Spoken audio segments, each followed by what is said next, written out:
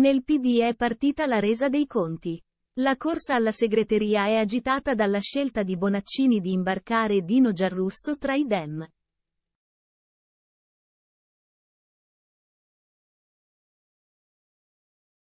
L'ex 5S che fino a qualche tempo fa insultava i piddini, adesso vuol prendere la tessera del partito.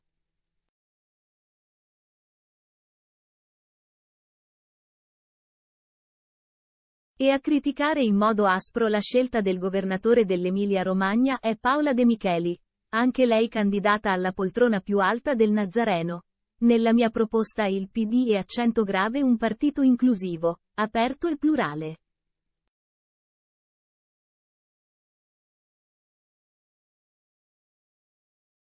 E soprattutto egemone nel centro-sinistra.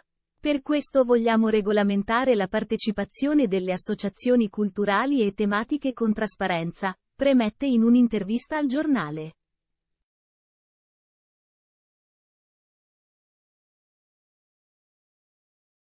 Poi arriva l'affondo.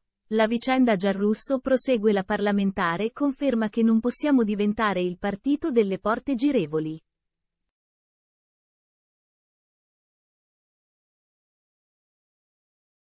Chi vuole aderire al PD e fino a ieri ci ha infangato, almeno riconosca di avere sbagliato, dimostri di avere cambiato idea e ci chieda pubblicamente scusa.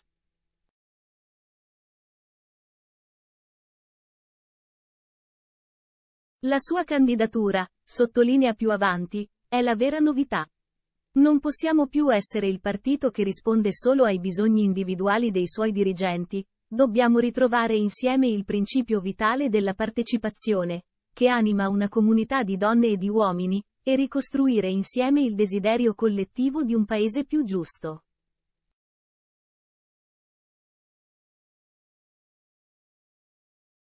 Abbiamo perso le ultime elezioni perché abbiamo rimosso la realtà e non abbiamo avuto l'ambizione di proporre una società nuova, che aspiri alla felicità.